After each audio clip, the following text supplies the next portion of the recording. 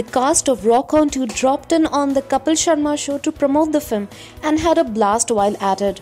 From singing to showing off some mean moves, Farhan Akhtar, Shraddha Kapoor, Arjun Rampal, and Prachi Desai had a lot of fun.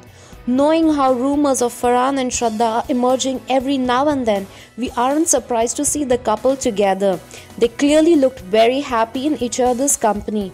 Well, even though they have declined the rumors time and again, we all know there is no smoke without fire. What do you think? Do you think Shraddha and Farhan look great together? Let us know in the comment section below.